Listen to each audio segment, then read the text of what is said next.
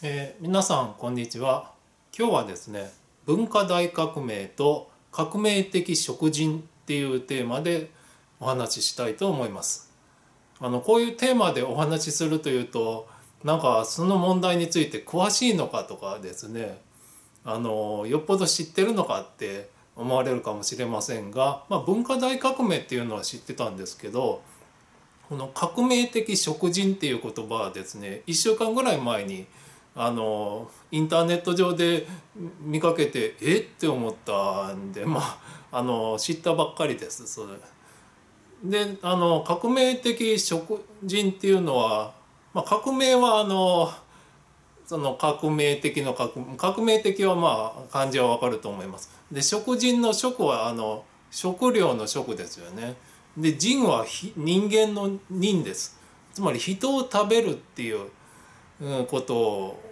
になりますね。でその人を食べることに革命的なものと革命的じゃないものがあるのかとかちょっと意味が不明なんですけどなんかあのネットには革命的食人って、まあ、革命の過程で起こった食人っていう意味でしょうかねちょっとまあ理解に苦しむっていうかあの、えー気がしますね。であのなんでまああの文化大革命の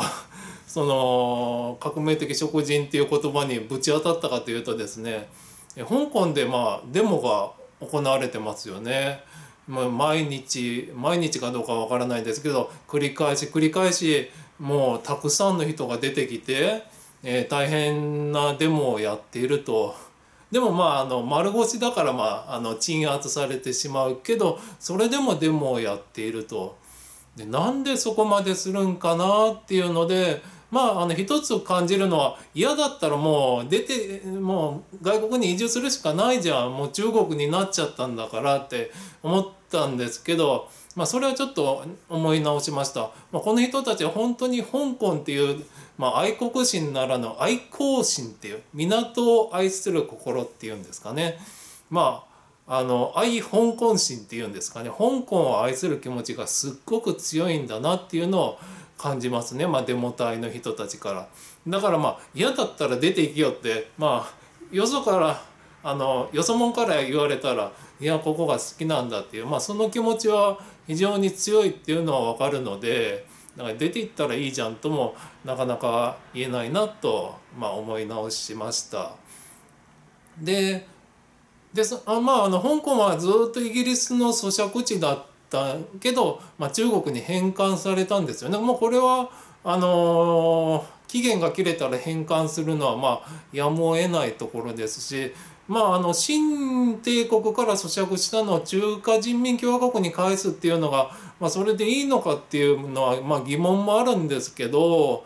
まあ中華人民共和国に返されちゃった以上はもう仕方ないですよね。まあうん、中華人民共和国のまあ一部としてまあ生きていくしかないんじゃないのって思うんです。まあそれは中国は天安門事件とか非常にまあ人を平気で まあ踏み潰すみたいな国だからまあ誰だって嬉しい人はいないと思うけどまあその国になっちゃった以上はもう仕方ないよねって思ってまあその、まあ、天安門事件とかまあちょっとネットで検索してででまあそういえばあの中国の虐殺といえば文化大革命もあったなっていうのでまあ検索とかしてたんですよ。そしたらなんか革命的食人とかいう言葉が出てきてはって思ったんですよね。あの文化大革命であ本当に多くの人が殺されたっていうのはもう私もよく知ってました。もうリンチで殴り殺す無残な殺し方をされたっていうのは私も知ってたんですけどその先を食べたなんていうのは本当に、えー考えたことも想像したこともなかったんでまさかそんなことがあったなんてと思って、まあ、びっくりしてまあ確かにネット情報なんで、まあ、鵜呑みにするのは危険なんで、まあ、ちょっといろいろ検索とかしてみつつまあしてみると、まあ、写真も出てきたんですよね。まあ写真も本物かどうかっていう、まあ、話もあるんですけど、まあ、文化大革命で、まあ、殺されたんだろうなで人体まあ、食べたんだろうなっていうようなあの雰囲気の写真も見ました多分これは本物だと思います。で革命的食人、まあ、1週間前に初めて知った言葉なんですけど、まあ、文化大革命の時にそういうことがあったんだろうなっていうのは、まあ、まあ知って初めて知ったんだけどまあそうだろうなと思いましたね。であのー文化大革命っていうのは、まあ、文化っていうとなんか社会の一部みたいに感じるかもしれないですけど、まあ、日本語では、まあ、あの文化なんですけど中国語で文化って言ったらもう社会体制全体全てを革命するっていう意味みたいですねどうやら。であのー、まあ多分北京の辺りから始まったんだと思いますね毛沢東がやっちゃえって感じでやるぜって感じで。で中国も広うございますのであのブワーってまあ広がっていくのにまあ1年2年かかったんじゃないかと思います。それでまああの隅っこの方にチベットとかですよねあの隅っこの方に行った時にはまああのなんていうかもう過激化の極度に過激化してても歯止めが効かなくなっていたまあもともと歯止めが効かない運動なんでもう端っこについた時はもう狂気の沙汰になっていたっていうことで、まあ、革命的食人みたいなことになったんだろうという、まあ、推測ですけどね。であのでそれがどこであったかというとそのネットによるとですね後世チワン族自治区であったそうなんですよね。後世チワン族って何なのそれって後って広いに西って書きます。後世でチワンはあのカタカナです。で族はまあ民族の族。少数民族ですよ。ね。その自治区でまあ起こったっていう。でそれそれどこなのっていうので私も知らなかったので、まあ、ネットで調べると中国の海岸線に沿ってですねあのまあ朝鮮半島の下からずっと海岸線に沿って下に行くと一番あの隅っこ。中国の一番下の隅っこにこここの赤色のが、えー、後世チワン族自治区っていうのもこの度初めて知ったんですけど、まあ、そこで起こったっていうことになりますらしいですね。でまああの本当に あの検索して出てきた 写真はもうおぞましいの一言ですよね。人間がこんなことを現実に 行ったのかっていう、まあ、ホラー映画よりもホラーですよね。本当にまあ、共産主義っての恐ろしさっていうのはここまでだったのかっていうもうなんか天安門の恐ろしさとか、まあ、文化大革命の恐ろしさとか、まあ、知ってたような気になってたけどここまでや異常だったのかっていうのは思いましたね。でそのまあさっきから香港の話してて要は香港の人が何でこんな中国を嫌うのかってあの考えてであの要は革命的食人まで知ってたっていうのはまあ誰だってそんな国には ね入りたくないですよね嫌ですよね嬉しい人なんかいないですよね。であのでですねまあ言いたいのはですねこの赤いところが後世治安族自治区です。で香港がですねここなんですよね。こことここまああのーちょっと間にちょっと出っ張ってるとこあるんですけどまあ近いっちゃ近いですよね。まあ中国でかいとはいえ近い。でここら辺でその異常なことが起こってたら要はなんかネットによるとなんか香港にもですね、えー、文化大革命の死体が流れ着いたっていう話があってああなるほどって思いましたね。まあ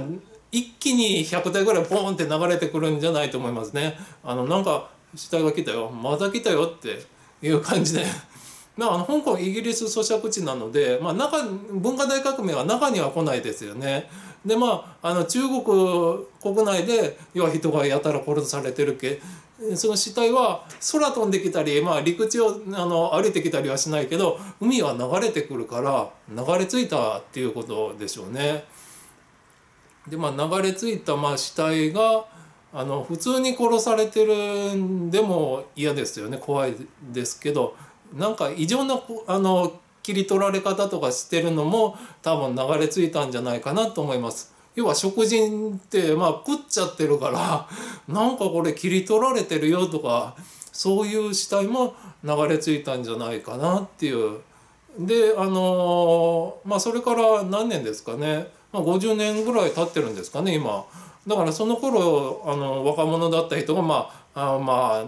60歳70歳ぐらいになっててまあ生きてらっしゃると思うんですよね。で子供だった人もまあ50代60代になってると思うのでだから覚えてるんじゃないかなと思います。で、まあ、親子であのこういうことがあったんだよって話したりしてると思うんですよね。だから多分香港の人もああの人食いのあの人食いの国みたいなそんなイメージを持ってるんじゃないかなと思います。まもちろんあの文化大革命は終わってますよね。で終わってますけどその中国共産党の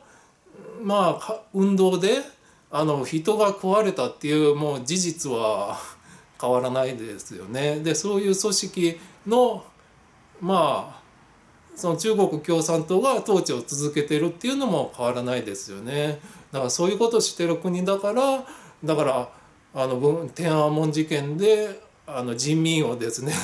もう戦車で踏みつけてあのひき肉みたいにしちゃったっていうのもああ、まあ、こういう国だったらああいうことも 当然なんだろうなっていうのを感じました。ので、まあ、香港の人たちがなぜ中国をあんなに嫌がってあんなにデモをしてるのかっていう原因は、うん、こういうのがあったからっていうのもあるんじゃないかっていう私は感じました。まああの想像もつかないようなことが、えー、現実に起こっていたっていうのを私は大変驚きましたあのウィキペディアの文化大革命の項目にもですねあの後世治安族自治区における文化大革命で要はあの共産党の幹部がですね人間を食べたっていうねあのまあ書いてます。まあ、ウィキペディアがソースって言ったらまあちょっと信用性はどうかと思われるんですけどまああのおそらくそういうのがあったんだろうと思います。要はあの毛沢東に忠誠を誓う過激であればあるほど、えー、忠誠が誓えるっていうことでもう歯止めも効かないしどこまでもどこまでも過激さを追い求めてついにはこのような狂った行いに及んだっていうことになります。あの非常に恐ろしいなと思います。のであの香港の人たちがですねまあ中国になりたくないって思うのは当然だと思います。しあのこの香港にとどまらずですね中華人民共和国っていう存在がですねこのアジアで強い力を持っているっていうことがあのまあ人間アジアの幸せにつながるのかつながらないのじゃないかっていう思いを強くしました。えー、皆さんもまあこんな言葉あの初耳だっていう方が皆さんそうだと思います。まあ、歴史の中にはこういう現実もあったのだろうなっていうのをまご紹介したいと思ってえ動画にしました。えご視聴ありがとうございました。